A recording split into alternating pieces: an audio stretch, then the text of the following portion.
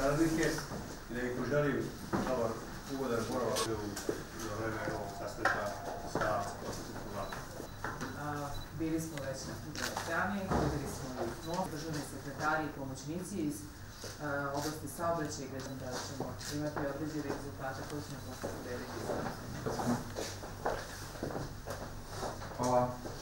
Danas smo u Kladovu, saradnici iz ministarstva, dakle državni sekretari, pomoćnici, direktor puteva, i drugi direktori. Mislim da je važno reći da su ulaganja vlade Republike Srbije u ovaj deo Srbije i kad govorimo o Kladovu posebno važno u vodnom saobraćaju, ali smo jednako danas razgovarali o ulaganjima u drumskom saobraćaju.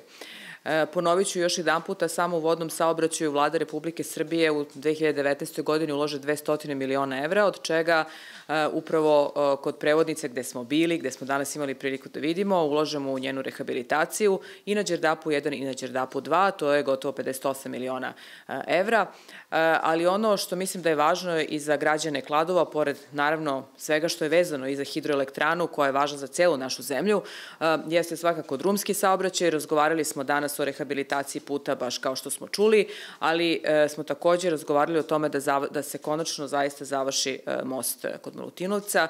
E, ja neću da govorim zašto i šta su sve bili razlozi i zašto je to stajalo par godina.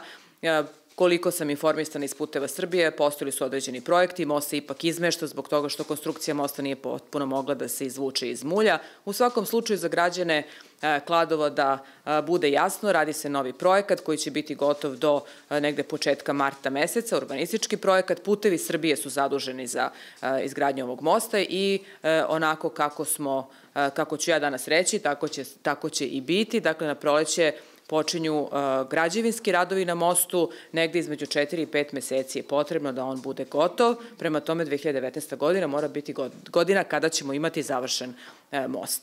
Uh, razgovarali smo naravno i o određenim stvarima u oblasti građevinarstva, o brzini izdavanja građevinskih dozvola i tako dalje, ali prosto to je jedna normalna, jedan normalni sastanak koji se obavlja sa jedinicama lokalnih samuprava.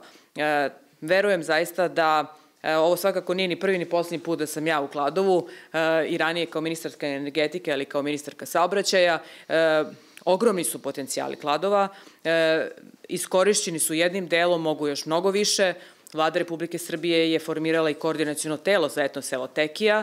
E, mi ćemo se time ozbiljno baviti. Dakle, formirano je na Vladi Republike Srbije. To znači nekoliko ministara se nalazi u tom koordinacijonom telu. Nama je u interesu dakle, da ovaj deo e, Srbije još više razvijamo. U tom smislu infrastruktura mora da bude jako dobra da bismo mogli da pričamo o turizmu i o svim drugim e, oblastima. Tako da hvala što ste došli da sve to ispratite.